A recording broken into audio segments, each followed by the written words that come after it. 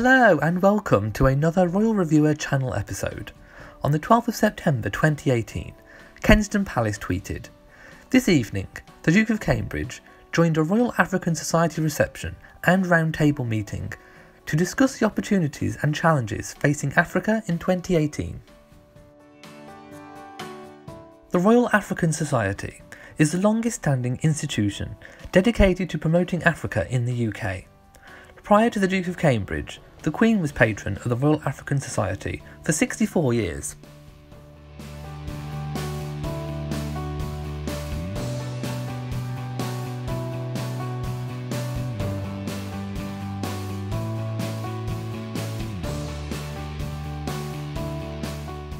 The Duke said, I'm really impressed by the energy and dedication to Africa by everyone in this room.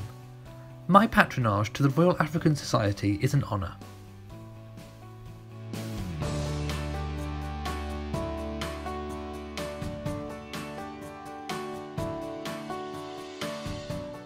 If you have enjoyed this video, then please give it a big old thumbs up. Don't forget to share on social media, and also hit that notification bell so that you know whenever I upload a new video. So from me in Shropshire, goodbye.